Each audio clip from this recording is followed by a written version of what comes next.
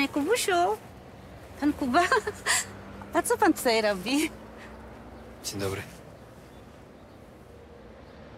Dzień dobry, wszystko w porządku? Nie, nic nie jest w porządku.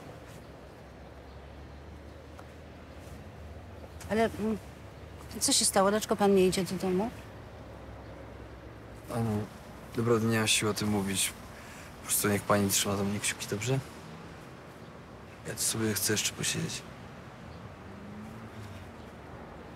Dobrze, ale... Nie, to oczywiście, do widzenia. Do widzenia.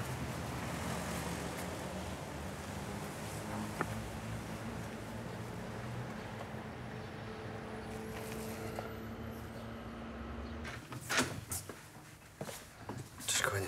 Cześć. Słuchaj, musimy porozmawiać. No, mów. Czekaj. Pauluś, wiesz, że jesteś dla mnie najważniejsza na całym świecie, prawda? Pewnie. Nie wiem, od czego zacząć. Całowałem się z Laurą. Na tym weselu Piotrka Jaśki. Pamiętasz, że jak już pojechałaś do domu, to ja zalałem się w trupa. Urwał mi się film, kompletnie nic nie pamiętam, no i...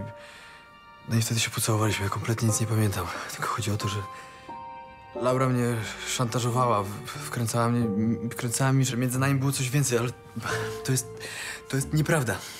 Paula, posłuchaj. Chcę ci tylko wytłumaczyć, że między nami naprawdę nic nie było, rozumiesz? Przysięgam.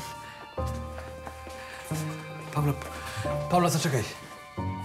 Przysięgam, między nami nic nie było.